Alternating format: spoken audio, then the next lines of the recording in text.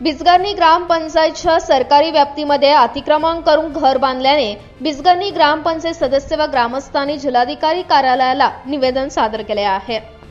सरकारी अठरा एकर जमिनीमध्ये ग्रामपंचायतीला विश्वासात न घेता व कोणतेच कागद पुरावे नसताना देखील नंदा कांबळे व परशुराम कांबळे यांनी सरकारी जागेमध्ये घर बांधल्याने सरकारी जमीन हडप करत असल्याचे निदर्शनाला येताच गावकऱ्यांनी जिल्हाधिकारी कार्यालयाकडे धाव घेऊन निवेदन सादर केले. ग्रामाभिवृद्धी अधिकारी यांना दमदाटी करून विनाकारण पिढीओंना त्रास देत असल्याचे सिटी न्यूजशी बोलताना या दरम्यान सांगण्यात आले आहे. ग्रामपंचायतच्या मार्फत मान्य डी सी साहेबांना आम्ही नि- निवेदन देण्यात आले की आमची तालुका पंचायतची म्हणजे ग्राम ग्रामपंचायतची जवळपास अठरा एकर जमीन आहे आणि त्या जमीनमध्ये पंचायतचा हक आहे. परंतु नंदा मारुती कांबळे व त्याचा मुलगा परशुराम मारुती कांबळे तिथे कुणाचं पंचायतचं परमिशन नाही किंवा कुठल्या ग्रामस्थ मंडळाचं परमिशन नाही तिथे जाऊन अ, अतिक्रमण करून संध्याकाळचं जाऊन त्याने एक सेळ बांधले आहे. आणि त्याच्यामध्ये आमचे गावकरी गेल्यानंतर तो खोटे अल्ट्रासिटी केस घालतो पिडओला हरॅसमेंट करून त्या पिडओला नको नको त्याला धमकी देतोय. त्यामुळे आता पिडवो घाबरून येत नाही. तुम्ही एक तर तो प्रॉब्लेम सॉल्व्ह करा नाही तर मी जे ते तुमच्या गावाला येत नाही म्हणतोय. तर असं आज आम्ही स- फक्त पंचायत मेंबर आणि काही प्रमुख ग्रामस्थ मंडळ आलेले आहेत.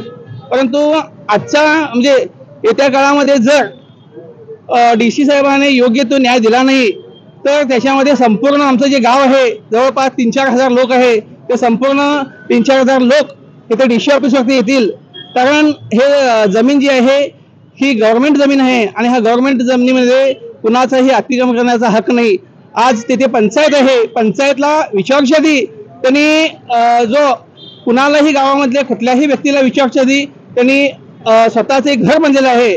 त्यामुळे मोठा प्रॉब्लेम होतोय. जर कुणाचं परमिशन नसेल तर संपूर्ण गाव जिथे येईल तिथे घरं बांधतील असाही इशारा मी डी सी साहेबांना देतो.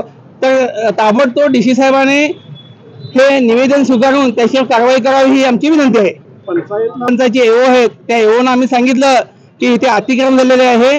आणि त्या अतिक्रमणावर तुम्ही ताबडतोब ह्याच्यावर कारवाई करा म्हणून. त्यांना तीन वेळा निवेदन दिलेत त्यांनी त्याला पण नोटीस दिलेत परंतु त्या नोटीस तो जमा करत नाही. आम्ही एस आहे. आम्ही एस वरती अन्याय होतोय. वास्तविक हा एस किंवा आम्ही मराठी हे काही नाही. हे जमीन ही तालुका पंचायत आहेत.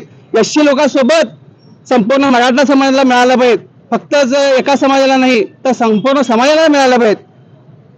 ही आमची विनंती आहे. तर नाव मनोहर पंचायत अध्यक्ष बिजगरणी. यावर जिल्हाधिकाऱ्यांनी तातडीने लक्ष देऊन अनाधिकृत बांधण्यात आलेले घर तुरंत हटवावे अशी मागणीही यावेळी करण्यात आली आहे. यावेळी ग्रामपंचायत सदस्य व ग्रामस्थ उपस्थित होते. Mahadev Pawar canon city news Belgaum.